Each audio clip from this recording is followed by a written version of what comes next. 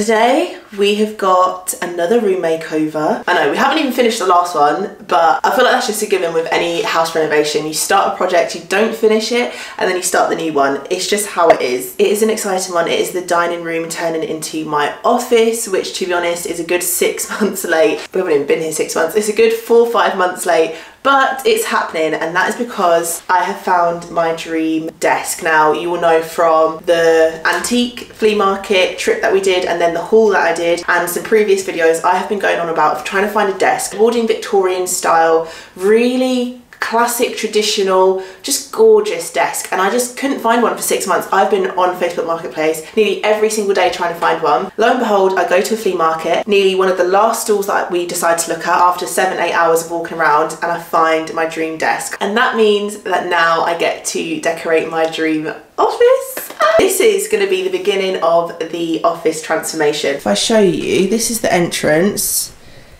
The floor looks like so. We've managed to get a huge three people sofa in here and there's still quite a lot of floor space. These are the double doors that lead into the living room. I do plan on painting those doors or staining them darker because I think it will clash with the wood from the desk and there's sorts of woods that I want to have in here. Office things that need to be in an office like a printer and a paper shredder but hopefully those will have a home soon. All of our board games and stuff, they used to live in our old office. Things like my tripods and that, they never have a home, so everything just lives everywhere. I need to get everything out. I need to put things in rooms or garages.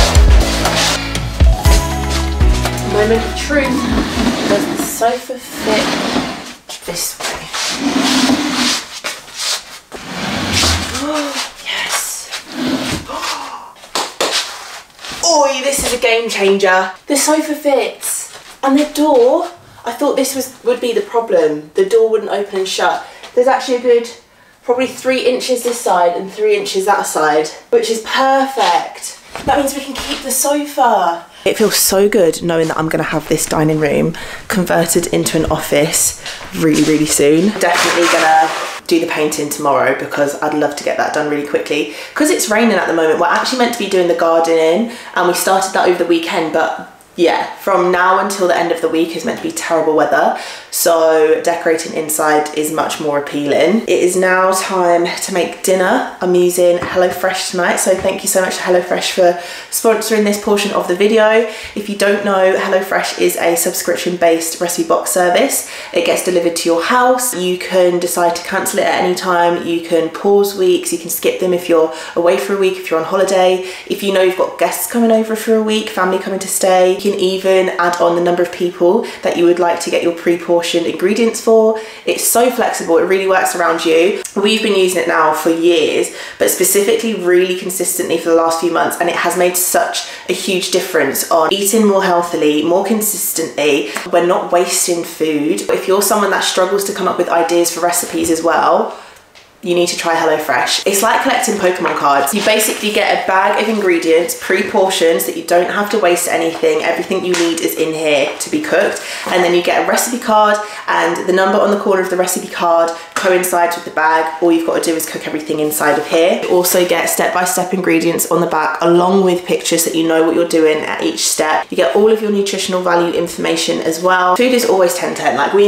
never ever have recipes that we don't like, but they have over 100 recipes a month for you to choose from anyway. So if you're quite fussy, you will find something that you like. Like I don't like cheese, Rob's allergic to nuts, and we don't really eat pork, but we always find so many things to choose from each week that we actually find it difficult to like settle on a few things. So honestly, shout out to the HelloFresh chefs because they are doing bits. But yeah, I will leave everything linked in the description box for you or on screen. Use my code to get 60% off your first box and 25% off your next two boxes. And if you haven't tried HelloFresh before, please give it a go because I don't think you'll be disappointed. I really, really don't. I feel really good about this, but I'm gonna pull in the desk and see if it's a good fit. Fingers crossed. So my initial thought was to have it like this. So oh, I don't think it's going to fit most. Kind of. Wait, is this centered in the doors? I kind of want it more centered in the room. I've got my chair here. Also, actually, I haven't thought about the fact that I won't have any plugs. I won't be able to plug anything in. We don't have any electrics in the floor to have like a floor plate plug that I could plug it in discreetly. So I would have to have a cable trailed across the floor. Ah, look at that. but it's just not very practical. If this was the tiniest bit smaller, but actually it overhangs that door, it's just, it's ill-fitting. So maybe the desk should go against that wall. I just really didn't want to sit against a wall, like face a wall doing my work. This is difficult. I don't normally put this much effort into that planning of stuff. I really don't want to admit this, but it kind of feels like this is what's going to have to happen because we've also got a socket down there, which makes sense. That fits quite nicely. It doesn't feel super squished. I'll have a plug down there to plug. I can put shelves above, like a, a couple of frames here and here, which would be nice.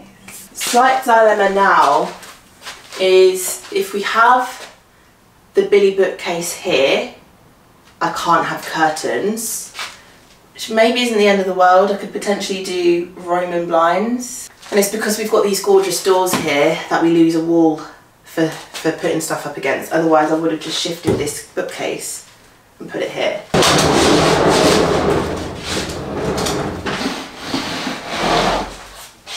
That, that looks awful. That's awful. Awful, awful, awful. Oh my gosh, what do I do? Oh, well, I've just broke the sofa, so that's great.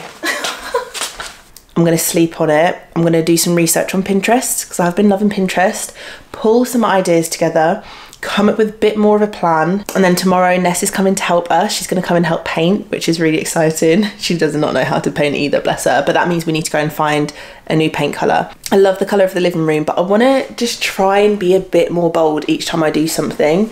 So I thought the living room colour was pretty dark before. Now that I'm used to it, I don't feel like it's dark enough. So I think we're going to go darker in this room. The neutrals have taken over everything and the boucle had taken over everything. This sofa used to be this colour and I actually made I made pillow covers for it. This is the colour we are working with. This is so stunning and sorry it is now 10 o'clock at night so you cannot actually see but this is a beautiful dark plush navy. Stunning. Now when I did cover this I made sure to make pillowcases for all of the cushions, cushion cases. And I also made sure not to damage the actual base of the sofa. So I used no fabric glue. I didn't use any stitching. I used a lot of webbing. I think I may have used some staples so that they would be easy to pull off. These have lasted a good, I want to say three years three years because I think it was during lockdown. They lasted. Now if I'd have used a different material, a better, stronger, more durable material rather than a 12 pound blanket from the range, it may have looked better because the cushions looked worse for wear to be honest. But it has lasted. And the good thing about this sofa is it is a modular sofa which means you can pull it apart. I made sure to do it so that I could pull it apart. Let's see here. Now, I'm just having 10 p.m. zoomies right now, which means I've got all the energy, whereas I've been absolutely shattered, nearly napping on the sofa all day, but all of a sudden I feel like I want to just start painting the room.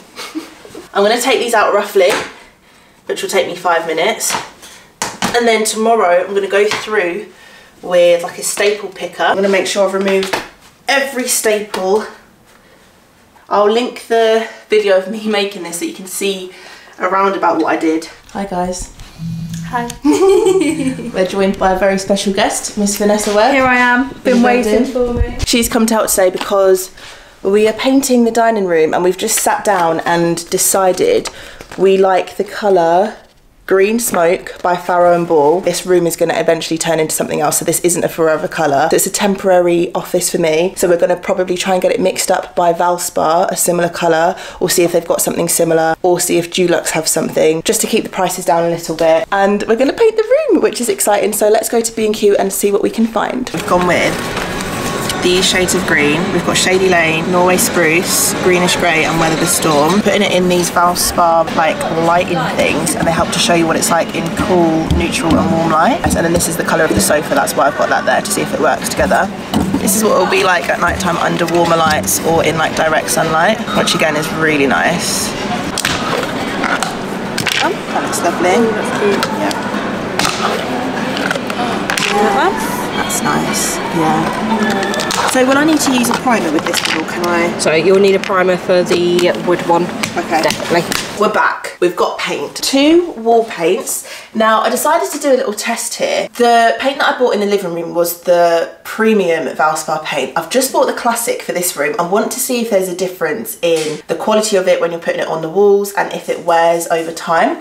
So it was three for two in B&Q. I decided to think forward and get some paint for the bedroom as well. So the brown one that you will have seen in the previous clip was finch feather and I think we're going to do the bedroom in this colour because I really want the bedroom to be warm cozy vibes. Then I also picked up the paint for this room which is Weather the Storm. It looks really quite green in the tin but normally paints dry a little bit darker so we'll see what it looks like when it's actually dry dry but we're going to do it anyway no matter what it looks like. The Valspar Premium Interior Wood and Metal paint so you can paint this on top of your skirting, architraves, doors and radiators, pipes if you want to. I'm not going to be painting radiators in here I don't think. So basically in a couple of videos ago I asked your opinions if I should paint the radiators. A lot of you said yes it would make them flush into the wall. They would look so much more seamless. It opens the room up a little bit more instead of breaking it up. A lot of you said no. You don't always get a good quality paint for the radiator and scientifically it reduces the amount of warmth that then can escape because of like the colours. The darker you go the less heat it lets out because dark colours absorb heat. Something along those lines. And then some of you said just build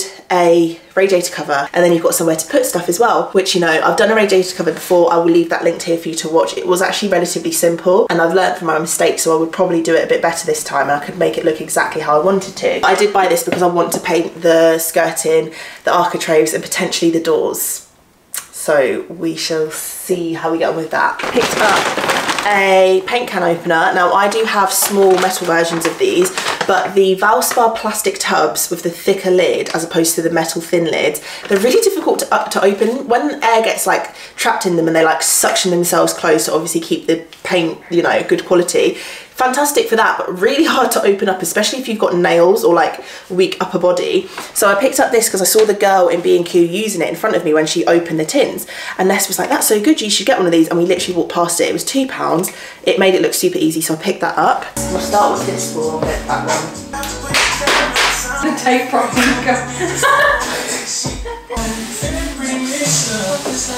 oh god the amount of dust coming off this Oh god, look at that. Oh, Roger and. Ooh. Is it on that as well? Yeah, that one. That Oh yeah. Okay, so I did this in my last video and I got some questions why I did it. It's because it removes excess dust from coving, the architrave, skirting. Then this one's great for the wall. I don't know if you can see how dirty and dusty they are. And it just means that you're not rolling the paint on top and just like spreading that dust and dirt everywhere. But I think we're just gonna start painting so we can get on the roll with it. So this has got very much upper arm strength. Oh, look at that. Is that easy? One take. Yeah, so easy. Nice. So that's a good tool then. I hope this turns out nice. I really hope it does, Oh, that is lovely. you know, turn to a green that I'm just not a fan of. I want it to be quite dark. To be fair, I think even if this was on the walls, I think I would like it. And if it's going to get a tiny bit darker, I think that looks like such a nice colour. Before I start, one thing that I got asked a question a lot last time as well was how on earth do you freehand now? I've been painting for a long time, well not a long time, like I'm not professional, but like I've done it quite a lot. I have done it freehand because I cannot be bothered to tape even though taping does give you really crisp edges. So I basically take just as long to freehand as I do if I were to tape up because I do have to go slowly. But top tips, have an angled paintbrush. I didn't have one when I did the living room because I just didn't have one, but I now have one. It's so much easier. Gives you a really clean line. You need to feed the peak paintbrush, so don't just dip it in really lightly. You need enough paint kind of inside the bristles. So you like you lap it up like this and then you don't want an excess but you don't want it super super dry. So you need enough so that it can spread spread spread all the way across. You don't want to have to keep like going and stopping and topping up because that's when you get janky lines because you can't match it up perfectly. Whereas you have like one longer line it looks much better. But it takes a little bit of practice. I would say start on corners of walls first to practice. You know what I mean? Like from the top to bottom, even though you're painting both walls the same colour, you can practice there, get a hand for it, and then you can try it on the tops near the skirting.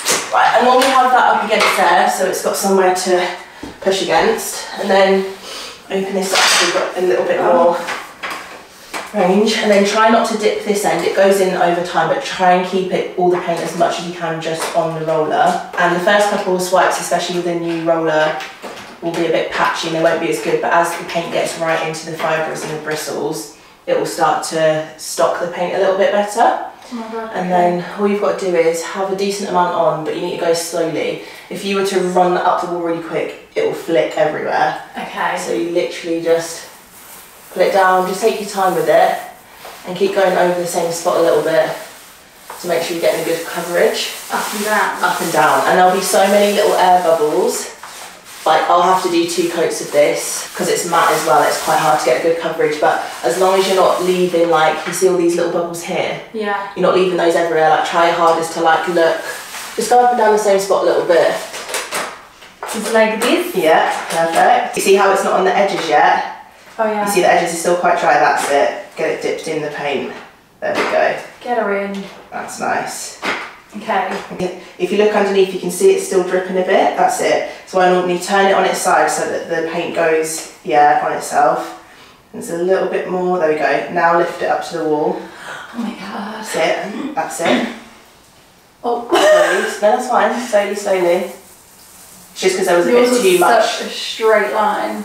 No, that's absolutely fine. But yeah, you want to do up and down lines. You don't do crosses or anything. And then try to get like to that height is good, but try and get you see these little patches still go there, but really try not to touch the coving because that's the ball like. That's it. Stop. That was quite close because it's really hard to repaint the coving. Okay, so I need more paint now. Yeah, so more paint and go to the left because I'm going to start on the right.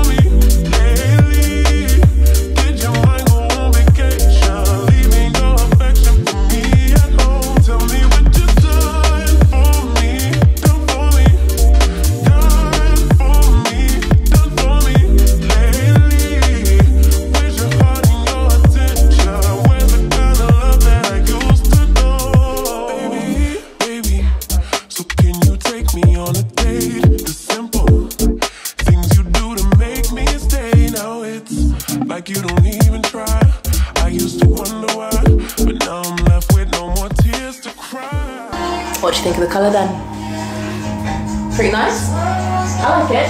At first I thought it was maybe a bit too green, but once I bring in the table and stuff, it's gonna look gorgeous. And the brass tones. You don't have any clue what colour this is actually, do you? I have literally no idea. Not one single bit.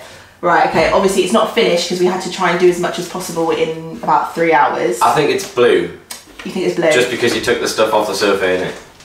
Whoa. That's not the colour I was expecting, it's better. How do you think? Yeah. Ah, I would, I would describe it as moss green. Oh, really? Is that right? I mean, it's not like, it's not the name of the thing, but it's, it's good. It's quite that army green. Army green. It feels more army green. Yeah. Moss is a bit more earthy. Looks really good. Do you like it? Yeah. Look at the desk against it. Yeah, that's really Isn't that perfect? The door, not so much. The door not so much. The door's gonna get stained. No, that's But really imagine good. like the frames up against the. Uh, in fact, will you please go and put that just very close to the wall so I can see what it looks like?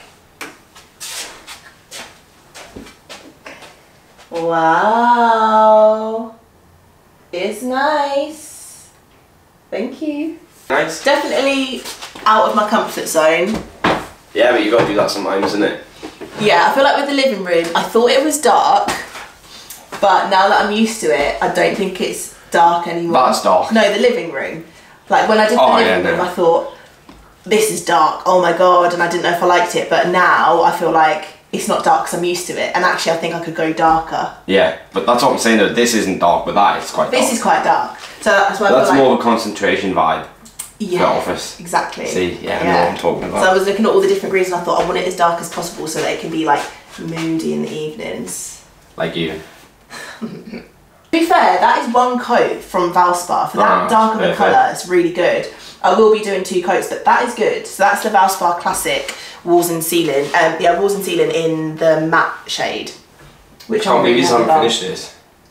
I mean, we started about three hours late, so we only had two and a half, three hours to Why get it done. I'm gonna finish it off tomorrow. Nice. Very nice. Hello. Guess who got super ill yesterday? So yesterday I intended on finishing the dining room painting, um, doing a second coat on the walls and potentially starting to paint the architraves and the skirting. The day that we were painting, so what you've just watched, in the evening I said to Ness, I feel like I'm, I'm getting ill. My throat started to catch. I was getting really phlegmy. I was having to like, you know, when you have to like, uh, like when you've got to kind of like, like snort whatever's in your throat back. Sorry, that's so gross, but I could feel it and I was like, oh no, I'm getting ill. I managed to survive that night, but I had the worst sleep ever. And yesterday when I woke up, my head was absolutely pounding. My throat was gone. I kept coughing up loads of phlegm. I had hot and cold flushes. I felt like I was going to faint when I stood up. And um, all in all, just wasn't a great day for me. So I didn't manage to get round to painting anything. And to be honest, today I still don't feel great.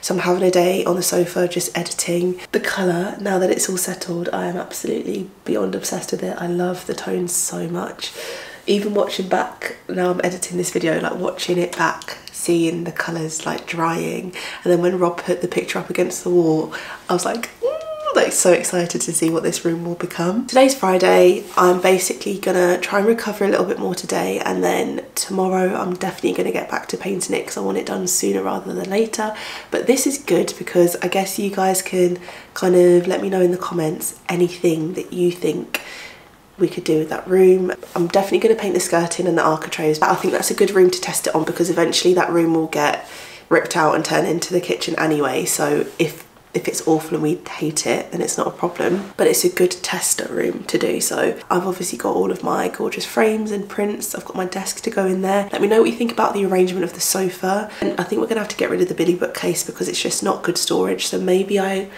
could build like some built-in storage or something like that but yeah any ideas that you've got let me know so gutted that I ended up getting ill like I really wanted to try and get that room finished and painted within a couple of days and get it set up so that I can actually start using it as an office but I'll just have to wait a little while longer let me know what you thought of the video I know there was a lot of talking in this one kind of when I'm chatting to Ness and chatting to Rob what do you think of that if I leave that in I just thought I'd trial it out because to me it helps to paint more of the story. Like it's quite nice. I feel like it, it feels like you're in the room with me. Like when I was watching it back, I was like, feels like you're on FaceTime sort of thing. So let me know. Let me know what you think of that. Anyway, if it's really boring, then I won't do that in the future. Obviously, I don't want to bore you guys, but if you liked it, then I can definitely leave more stuff like that in in the future as well. Okay, I'm gonna go and get back on the sofa, finish this video.